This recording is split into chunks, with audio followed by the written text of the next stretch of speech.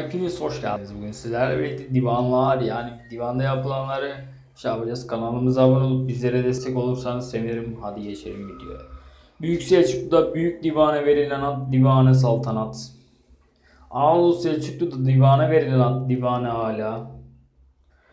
Divanın günümüzdeki benzeri bakanlar kurulu arkadaşlar.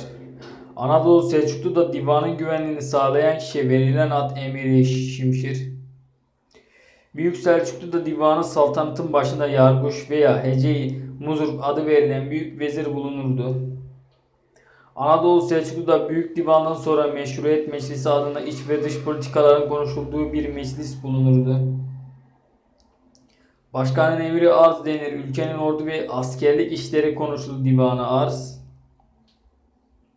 Başkanına müşrif denir. Askeri ve adli işler dışındaki memurların denetiminden sorumludur arkadaşlar. E, Başkanı Turai menşur denir. Ülkenin iç ve dış yazışmaları işlerinde sorumludur. Başkanı Saltı Sultandır. Divanı me- mezalim. Siyasi suçlar ve ağır suçlar görüşülür. Divanı mezalim.